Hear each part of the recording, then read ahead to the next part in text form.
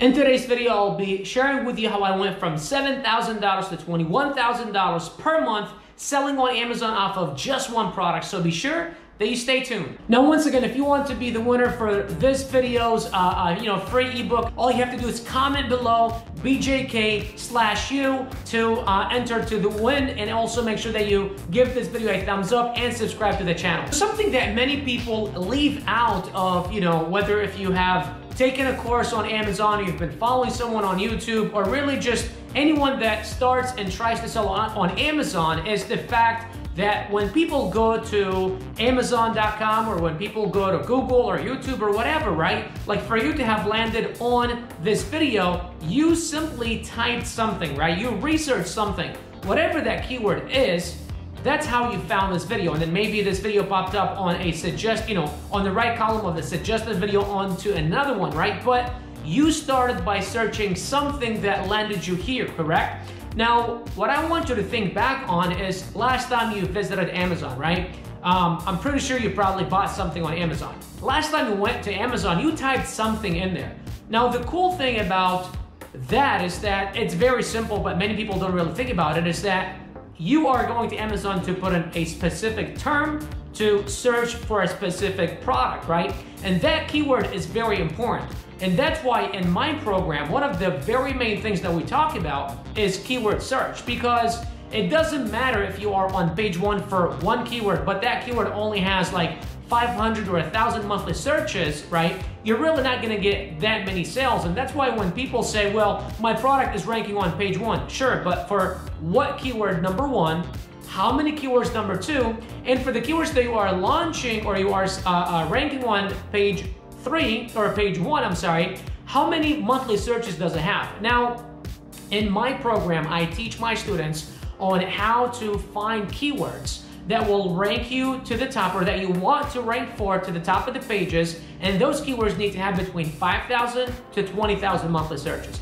That's very important, right?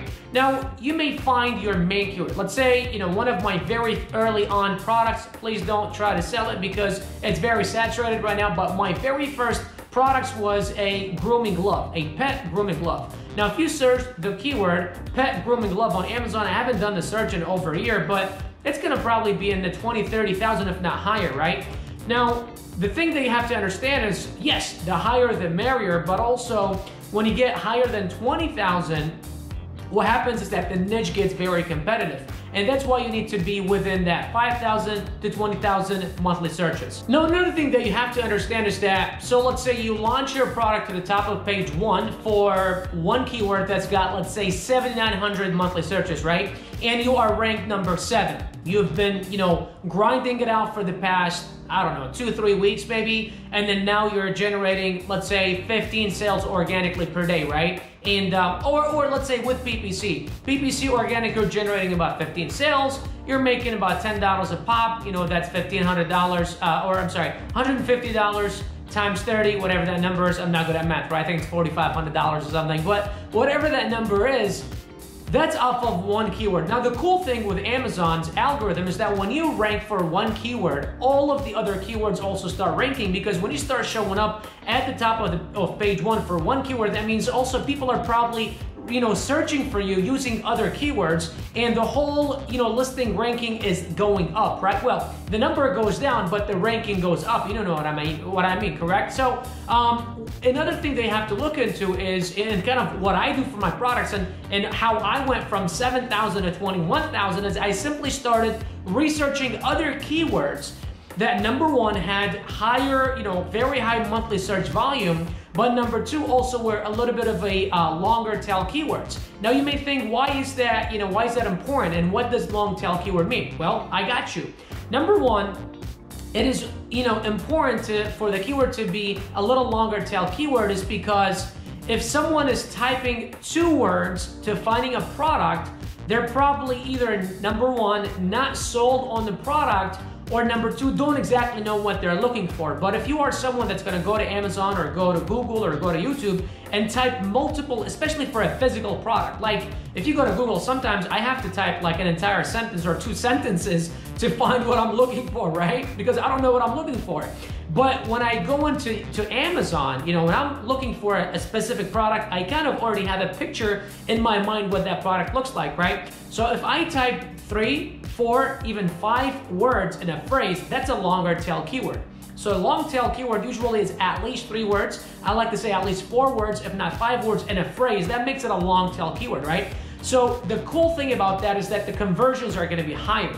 If someone types two words in a phrase to finding a product, usually the even with your PPC, the conversions are probably going to be lower, right? And then the cost is going to be higher as well because you're going to probably be getting a bunch of clicks and not really very many conversions. Now with the longer tail keywords, the cool thing about it is that if someone is typing three, four, even five words to find a product, the awesome thing about that is that they probably know exactly what they're looking for, so the conversions are gonna be higher. You know, the average conversion rate is about 20%, so for every five clicks, you want to get one sale. But in this case, what's going to happen is that you may be getting, you know, two clicks or three clicks for a conversion for one sale, which is pretty incredible. And especially if that keyword has high monthly search volume. Now, usually, the longer tail keywords have smaller monthly search volume simply because not many people are going to be looking for the longer tail, but that's what I like, is that I don't like it to be competitive right? Number one. And number two, I want my conversion rate to be higher, and that's what I simply do. So let's kind of recap what we talked about. I'm sorry if I dumped a whole bunch of information at you right now. Uh, you know, the way that I scaled my products, you know, from, or my product from 7,000 to 20,000, 21,000, and how I continuously keep doing that and how I teach in my program is number one, of course, focus on one keyword that's got between 5,000 to 20,000 monthly searches. Number two, make sure that you are looking, after you are ranking for that one main keyword, start looking for other keywords that also have between that 5,000 and 20,000. It's okay if it's a little bit less than 5,000, but as long as